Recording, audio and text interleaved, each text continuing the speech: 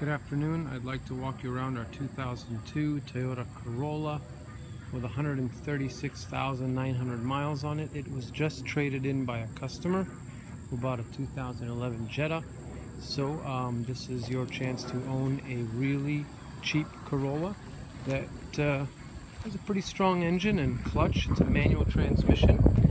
So obviously um, it has pretty decent cosmetic wear, which can be expected for the age. And I'll just take you inside. Show you the seats inside here and the passenger seat. Rear seats here.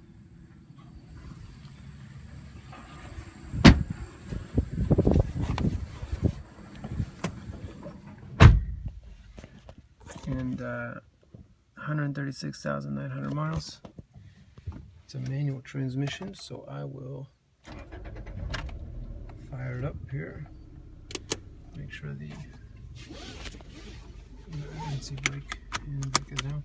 It does have a Pioneer stereo, uh, which sounds pretty decent.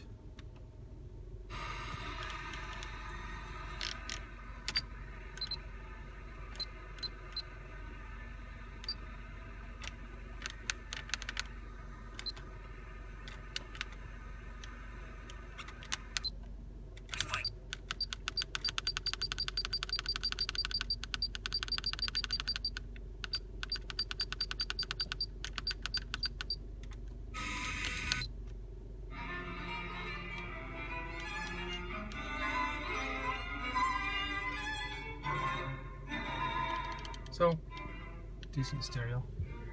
I will just take you for a quick spin. It does have a CD player and USB, I believe. Just dropped uh, some sunglasses there. So as I take you down the road, the clutch is very tight. It's not loose or high. I am in third gear now, fourth gear, and uh, not much space to go fast, but I just want you to know that I'm in fifth gear and everything shifts properly the way it should. And so I'm coming up to a stop sign here. The car doesn't pull to uh, either side. And um, I think uh, it's a pretty decent, really cheap car with uh, decent miles with 136,900. Please call me if you have any questions.